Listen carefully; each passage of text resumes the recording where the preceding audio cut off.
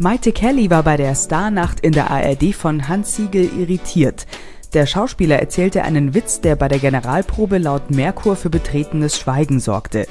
Siegel sprang nach dem Auftritt von Maite Kelly für ein kurzes Gespräch auf die Bühne und erzählte den Witz.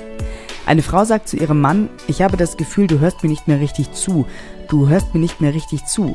Darauf der Mann zu ihr, bin ich gar nicht. Die Sängerin reagierte irritiert und machte deutlich, dass sie solche Witze nicht mag. Und auch das Publikum reagierte nicht wie gewünscht, nämlich mit Stillschweigen. In der Live-Show kam es zu einem weiteren Fehler. Siegel kündigte Maites Song Ich brauch einen Mann fälschlicherweise mit Ich such einen Mann an. Den Witz wiederholte er allerdings nicht mehr. Scheint wohl nicht gerade sein Abend gewesen zu sein.